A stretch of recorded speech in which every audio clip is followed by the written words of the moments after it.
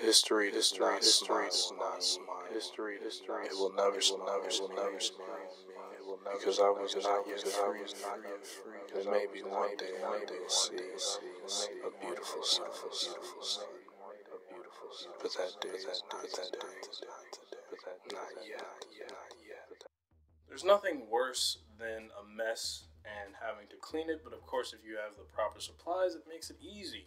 One of these supplies is a squeegee, and normally we've seen these applied to windows and the idea of, you know, making something look a certain way, giving that potential illusion that everything is always fresh and clean, which is not. And the same can be said for racism and how there's a lot of erasure and this constant sense of trying to forget the past. And JID is not one to let the past just simply be the past because it is continuing to happen, it's continuing to repeat itself, and as long as it does, it can't be ignored. On Skeegee, which is JID's sort of, I want to say, format to say the word squeegee instead of skeegee, he is combating these forms of racism, but it's interesting because it starts off with this sort of simple advice of hey, what's the tools that you would need for success? If you were to ask JID, the tools that you need for success are simply the body parts you have and the brain you got. And most important is this idea to listen, to be keenly aware of the things going on and to not speak over those who may offer advice, which is pretty cool given the fact that he samples, I'm pretty certain, a very important person of which I did not look up, but I will, so I'll have it here but he samples this guy who's sort of talking about how he got into politics and then he talks about these inhumane experiments that were happening to black folks. There's so many other different forms of torture and um, degeneracy that was applied to African Americans. And what JID does is he talks about the fact that, yeah, it was cool I got recruited for football and stuff, but like, honestly, I felt like more uncomfortable with them being around. I felt better after they left, and that idea of having to work for the white man, which is something else he continues to point out. But before this, he talks about how his dad sort of helped him out by telling him the stories of how instead of just shooting them up, you know, they were shot up with syphilis and tested on in this very horrible way so it's not just simply, oh yeah, black people just were enslaved and then things were fine. It's never that. It's always more and more, you know. And this idea of having to survive in a world that constantly tells you you're horrible, you're a thug, you're this, you're that, you're you're always put down in a certain way, and then those stereotypes evolve to become fatal and destructive. He talks about the fact that the same people who sort of create this voter suppression and other formats to keep black people from voting and being able to actually change anything for themselves policy wise are also the same people who are willing to hang these people from nooses. It's just evolved. Racism never went away, it just shifted over time to become something that was a little more polite, a little more palatable. So, to even suggest that it is gone, to even say something along those lines. One, the audacity. Two, the audacity. How dare you? And it's another another cool thing he talks about too is how one of the things that black folks have to are, are trying to overcome is all this, all this this racist trash thrown upon them. And sometimes the the helpers of the demons are like alcohol and drugs, and people are so quick to be so judgmental of of anyone who struggles with that, but especially African Americans, like, oh yeah, you're just more prone to drink because you're black. It's like again, there are so many other factors that have to be considered when talking about this that people don't consider.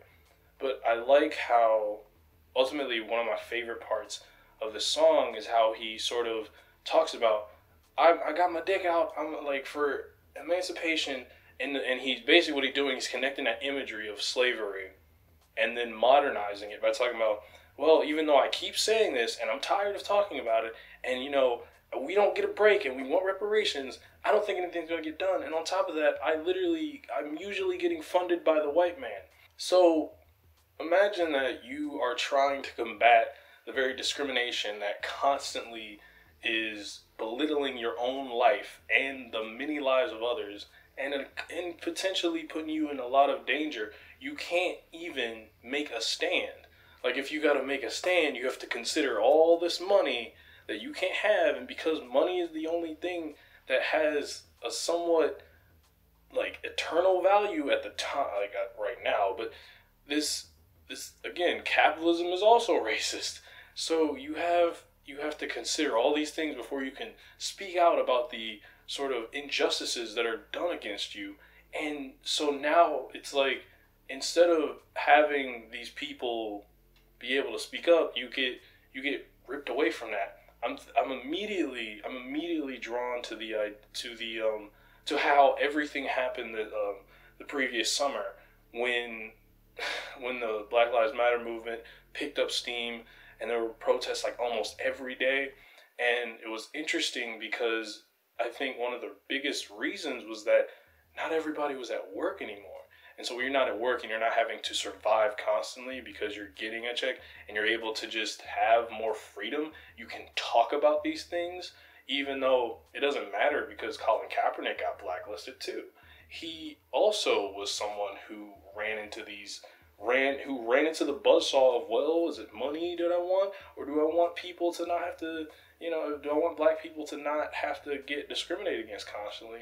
And by calling it out on his own platform, it it unfortunately upended his football career or at least left him blacklisted. So you have to think about all of this before you can even make a stand. And it's just, it's so messed up. But I really do like how JID flips the idea of sports.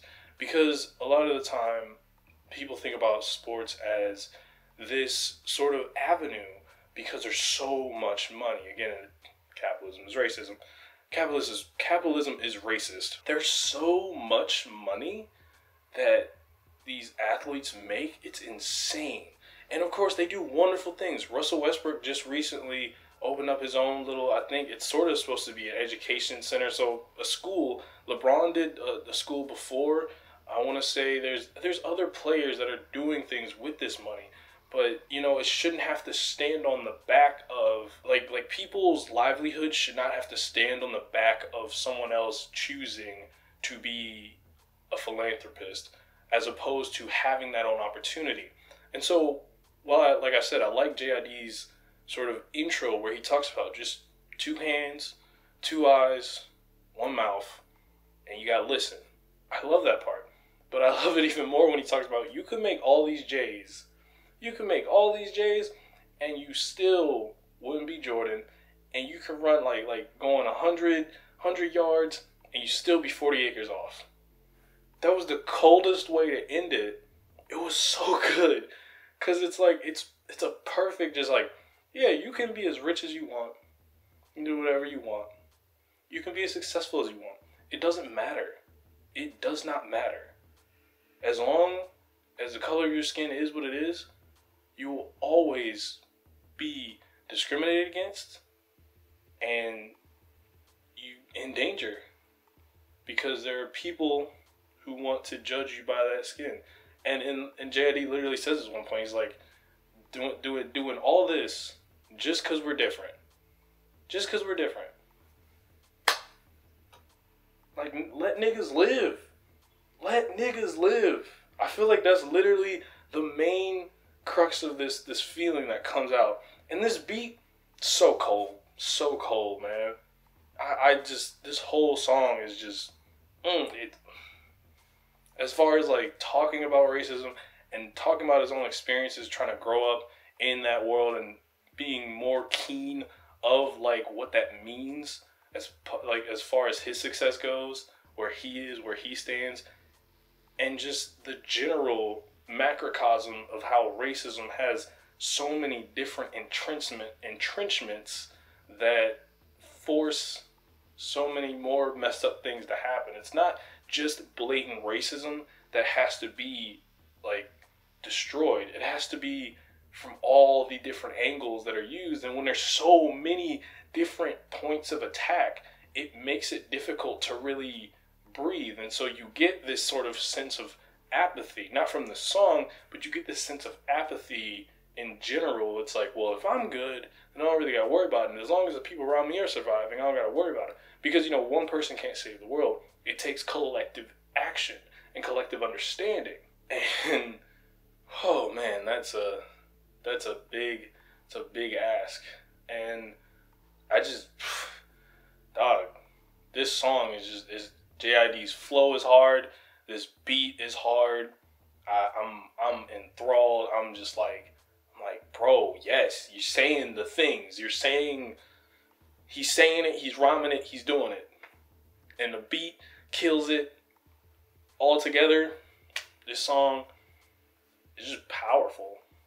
It's not like make you cry powerful, it's like more like this is the anthem you listen to when you go to a protest or something. Like this is the stuff where you're like like you you feel a little bit extra. I feel like I feel like as as a black man, I feel this one a bit extra, a bit more, and it sucks because it's like I understand this, which is another thing he even mentions in the song. It's like yeah, we're tired of this. This happens all the time. Let it stop happening, but it doesn't. This whole song is just it's really good. It's really good.